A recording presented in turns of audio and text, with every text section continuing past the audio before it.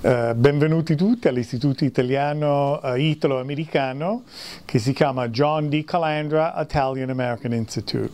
Questo è un istituto di ricerca dedicato alla storia e alla cultura degli americani di origine italiana. È un istituto che esiste da 1979, uh, nato con tre scopi principali.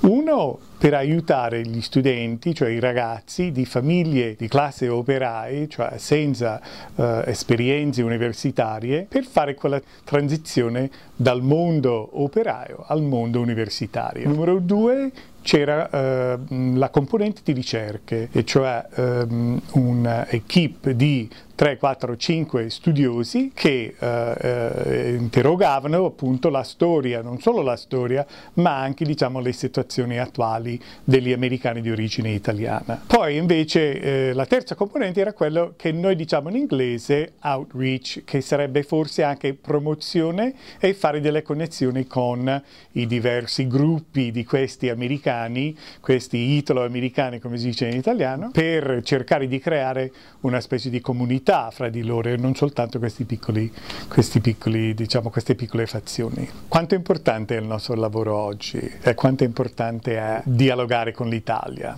Perché eh, io sostengo sempre che se l'Italia avesse studiato la sua emigrazione, cioè una storia di più di 100, eh, 120 anni, forse oggi ci sarebbero meno problemi in Italia per quanto riguarda la sua immigrazione. Qui ci sono almeno 40 o 50 anni di scritti, racconti, romanzi, poesie, saggi, che in Italia non sono per niente conosciuti. L'Italia sfortunatamente non riconosce diciamo, la, la, scrittura italiana fuori d'Italia e questo è eh, secondo me uno delle, eh, dei motivi più importanti per cui dobbiamo cercare di creare ancora di più questo dialogo con l'Italia.